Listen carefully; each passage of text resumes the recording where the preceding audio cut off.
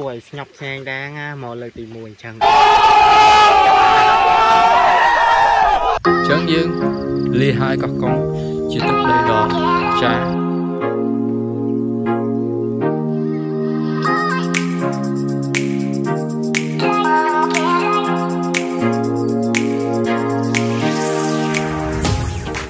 បញ្ជាក់ក្នុងវីដេអូនេះបើសិនជាមើលដល់ចប់អ្នកទាំងអស់គ្នានឹងមិនអាចឃើញនូវទេសភាពដ៏អស្ចារ្យនោះទេ អូខេសួស្តីអ្នកនាងវិលត្រឡប់មកជួយជាមួយខ្ញុំជាថ្មីតែសារ vlog ទៀតហើយហើយវីដេអូនេះគឺជាថ្ងៃទី3ថ្ងៃទី3ខ្ញុំនៅកកុងហើយឥឡូវនេះខ្ញុំបានឡើងមកលើភ្នំវិញហើយយប់មិញបានគេងនៅកន្លែងដដែលកន្លែងដដែលដែលខ្ញុំបានគេងកាលពីយប់ម្សិលមិញហើយឥឡូវឥឡូវគឺដល់ថ្ងៃដែលយើងត្រូវទៅវិញហើយប៉ុន្តែយើងអត់ទៅតាមផ្លូវអូសោមទៀតទេដោយសារតែខ្ញុំបានរោផ្លូវតងអាំងឃើញហើយ គឺមិនមែនឆ្លងកាត់ផ្លូវនេះទេ គឺឆ្លងកាត់ផ្លូវព្រំបតលថៃទៅដល់ថ្មដាអញ្ចឹងពីព្រំបតលពីកោះកុងទៅថ្មដាគឺខ្ញុំសាកសួរព័ត៌មានពីបងមីនគាត់ក៏ជា YouTuber មួយដែរហើយខ្ញុំក៏បានសាកសួរព័ត៌មានពីគាត់គាត់ថាផ្លូវហ្នឹងចាប់ពីថ្មដាទៅកោះកុងគឺមានសភាពពិបាកបន្តិចតង់ថាវាឡើងភ្នំចុះភ្នំក៏ដូចជាផ្លូវបត់បែននេះគឺ វានៅថ្មគ្រោះអីចឹងហើយវាខ្ពស់អញ្ចឹងវាគ្រោះថ្នាក់អញ្ចឹងផុតពីផ្លូវនឹងដល់ថ្មដាគឺយើងអាចទៅដល់ពោធិ៍សាត់ទៅដល់បាត់ដំបងយ៉ាងស្រួលទៅធ្វើដំណើរតាមផ្លូវជាតិលេខ55ហើយនឹងទៅទៅផ្លូវជាតិលេខ5 យើងនឹងទៅដល់បាត់ដំបងហើយអអញ្ចឹងយើងនឹងរងចាំមើលទេសភាពនៅវាលវែងដែលគេថាផ្លូវបុប្ផាលាក់ខ្លួនឬជាផ្លូវតុងអាំងហ្នឹងវាមានសភាពមិនដែរដែលអ្នកគ្នាបានធ្លាប់ឃើញហើយបើសិនជាអ្នកនរគ្នាតាមណានហើយអញ្ចឹងមើលរបស់ខ្ញុំមួយទៀតក៏មិនខាតពេកដែរអញ្ចឹងនេះកោះកុងអញ្ចឹងយើងលាហើយកោះកុងជាទឹកដីដ៏អស្ចារ្យខ្ញុំមិនដែលធ្លាប់ឃើញសមុទ្រអញ្ចឹងមានតែសមុទ្រនេះទេជាលើកទី1ដែលខ្ញុំឃើញ វាពិតជាស្អាតមែនទែនស្អាតលើសពីការរំពឹងទុករបស់ខ្ញុំសម្រាប់ក៏អត់សូវមាន98%គឺល្អមែនទែនអញ្ចឹងយើងយើងជួបគ្នាតាមផ្លូវទៀតថាតើផ្លូវនឹងវាមិនដែរ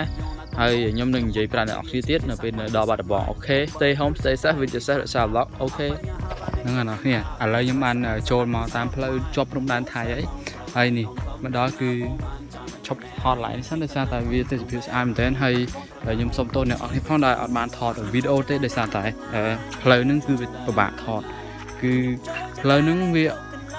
អឺបើបើសិនជាមកខែ3ឬក៏ដើមខែ4អីគឺល្អដោយសារតែវាអត់ទាន់មានភ្លៀងតែឥឡូវវាមានភ្លៀងទៅវាធ្វើឲ្យដាច់ដីអញ្ចឹងតែវាហូរទឹកវាហូរទៅដាច់អញ្ចឹងវាពិបាកតិចតួចអញ្ចឹងទេសភាពនៅទីនេះគឺស្អាតមែនទែនបៃតងខ្ចីញញហ្មងហើយពពក ដោយសារតែខែនេះខែភ្លៀងអញ្ចឹងអាប់វាអត់ទៅក្រាស់ទេយើងអាចមើលឃើញទេសភាពយ៉ាងស្អាតតែចាំហ្នឹងហើយមានតែប៉ុណ្្នឹងហើយហើយយើងជួបគ្នានៅមុខទៀត